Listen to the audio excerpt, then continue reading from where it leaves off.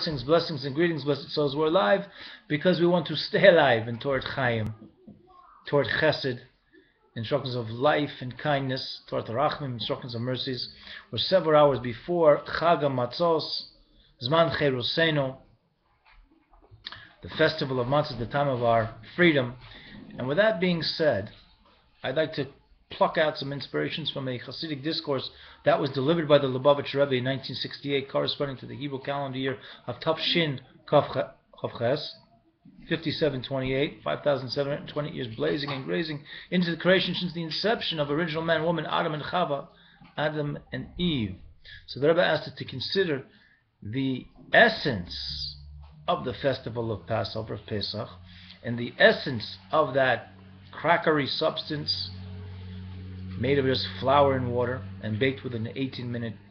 span called matzah. And understand that in the process of eating the matzah, we are participating in the expansion of our cognitive awareness in a manner that is described by Rav Yitzhak Luria, Ari Kodesh, the holy Ari from Tzfat, who lived in the 16th century, who described matzah as an expression, especially when we eat it, the night of the Seder, the Passover holiday meal, is an expression of moichen de katnus, expansion of the cognitive experience of the human being ingesting the matzah, but in a very contracted form.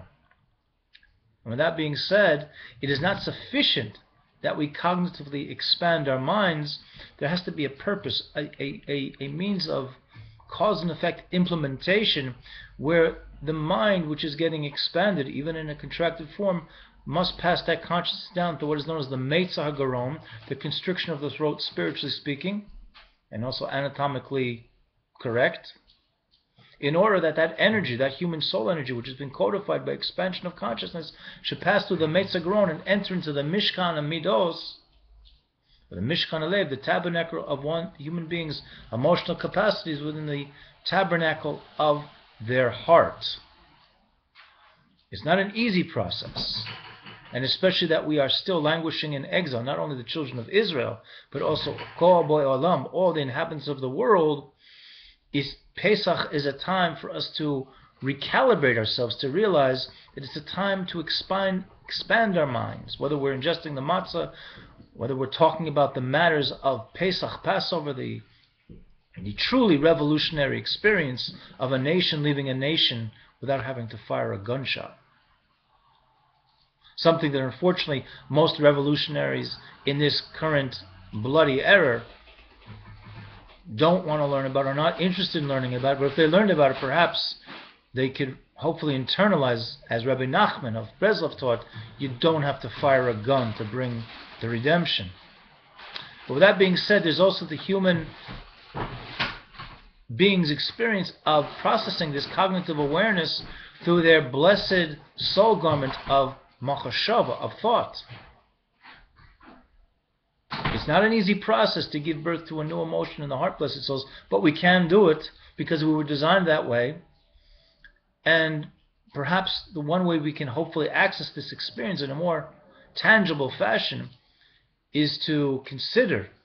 that most of us, if not all of us, and I speak of myself before anyone else, we are poverty stricken. Stricken. We don't have enough knowledge of Torah Therefore, hopefully, the little that we've ingested, we've learned, we've become aware of, we've been taught, has been shared with us, will hopefully serve as a means of inspiring us to want to learn more Torah in the revealed dimensions of the Torah and in the inner dimensions, according to Torah Shepiksav, the written Torah, and Torah Shabbat, the oral Torah tradition. And all this hopefully will transpire in a manner of darkening Noam, of a pleasant way, darkei shalom, in a peaceful way. And we should see speed in our days that accessing cognitive awareness of Torah, whether it be again be ingesting the matzah, which is a physical mitzvah, or the learning of Torah, which is a cognitive experience, passing it through the Meitzah Garon, the constriction of the throat, anatomically and spiritually, into the Mishkan Alev, the tabernacle of the heart, will have a much better chance of doing so. Of course, when we have the Geulah Amitis Shleimah, the true and complete redemption, this will be accessible to any human being who wants to access this type of positive, life affirming experience. For we human beings were designed by Creator to expand every day of our lives, whether it be from our own doing or from those around us, whether it be from our parents, from our the beginning of our experience here on this blessed earth until our very last breath, we are here to expand and to grow. At times it seems to grow is harder than others, but grow we must. And the Pesach Seder is reminding us that every human being, whether Jew or Gentile, we can expand. Whether we eat the physical matzah or we take in this whole idea of the spiritual matzah, which is a form of sustenance, which is to the exclusion of our human ego. Not to say our ego is wrong or evil, but our egos have to be sublimated